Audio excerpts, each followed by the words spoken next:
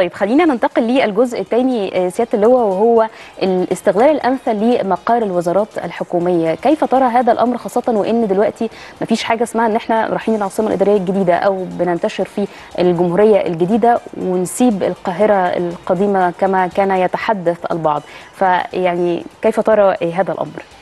آه، دلالة الموضوع ده برضو دولة رئيس الوزراء بيشرف بنفسه على هذا الموضوع عشان إطار الحوكمة بتاعته والشفافية ومراعاة ال ال الحفاظ على التراث لأن في مباني في في المباني اللي هتتركها الوزارات وتنتقل إلى العاصمة الإدارية زي وزارة الزراعة مباني أثرية. يعني أو ذات طابع أثري يعني ممكن ما تكونش مسجلة أثريا ولكن ذات طابع أثري. مهم إن إحنا نحافظ على شكلها. مجمع التحرير ده رمز من رموز مصر. فلما بنيجي نبص له محتاجين إن إحنا نحافظ على الشكل بتاعه. فهنا الحوكمة والشفافية دلالتها إن رئيس الوزراء بنفسه موجود. أكيد في جهاز التنسيق الحواري هيبقى موجود معاهم في هذا الموضوع. طيب صندوق مصر السيادي نقلت له بعض الأصول زي مجمع التحرير وزي ارض الحزب الوطني مقر الحزب الوطني القديم اللي على كورنيش النيل. في تحالفات كتير مقدمة.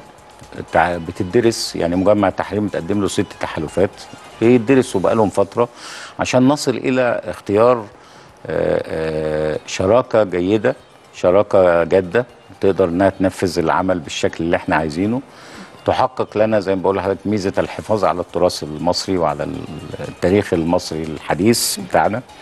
آه برضو في إشكاليات موجودة في هذا الموضوع مش كل الموظفين اللي في الوزارات نقلوا إلى العاصمة الإدارية لأن زي ما إحنا عارفين إن العاصمة الإدارية نوعي. عمل لهم اختبارات وخدوا نوعية معينة وتدريب عشان التكنولوجيا اللي موجودة في المباني هناك لازم اللي يروح لها يكون مؤهل.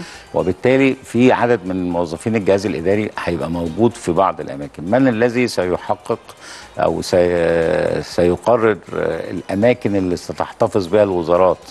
في داخل القاهرة بالشكل اللي هو يحقق أداء العمل بشكل جيد وفي نفس الوقت يحقق الغرض من الاستثمار. إحنا محتاجين فعلا إن إحنا نستثمر في هذا الموضوع بشكل سريع لأنه استثمار سريع وهيدخل لنا هيدخل البلد عملة صعبة كويسة محتاجين إن إحنا نوفر الدولار بشكل كويس. مظبوط وده ف... كله تعظيم لأصول الدولة يعني. طبعا يعني تعظيم أصول الدولة وإحنا طول عمرنا بالنادي دايما نقول إن أصول الدولة مصر مصر غنية.